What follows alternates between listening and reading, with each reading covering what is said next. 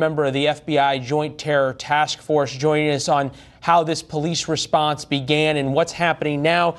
You listened to that press conference, Steve, and I know you listened to it as well, with them talking about the crime scene itself. You have 20 victims deceased who they said most of them would stay inside the crime scene while they prosecuted it. They said every man with a badge in El Paso had showed up at that scene, but this is going to take days for them to piece together what has happened, all the more complicated because it's not just what happened, but preserving it for a trial that will be upcoming.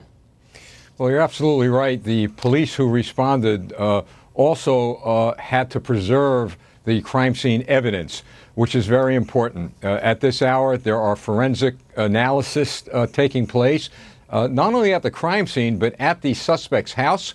Uh, there's going to be an analysis of the suspect's uh, uh, social media networking, uh, cell phones, yeah. computers. So all this is taking place right now. But I've got to tell you, the first responders on that scene, the police, did an outstanding job in apprehending this individual uh, alive. And that was critically important because now that this person's alive, what's on that person's mind is a treasure chest of information they need.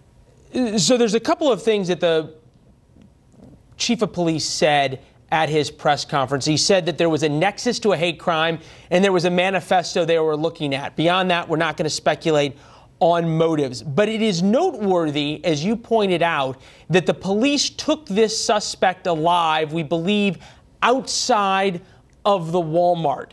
Connect those dots for us. What does it say? Well, it tells us that this individual who committed this horrendous act planned this. This was not just an individual getting out of a car or waking up in the morning and deciding that they were going to do what was done. This looks like it was well planned. They uh, obviously, at least in my view, knew uh, uh, an entrance that would jam people up, that would trap people, and more importantly to the police, that individual knew how to get out of there without being detected.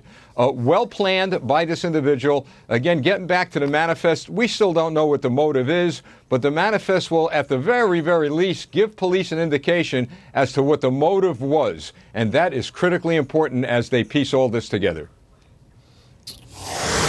All right, Fox News alert now. Steve, we'll come back to you with the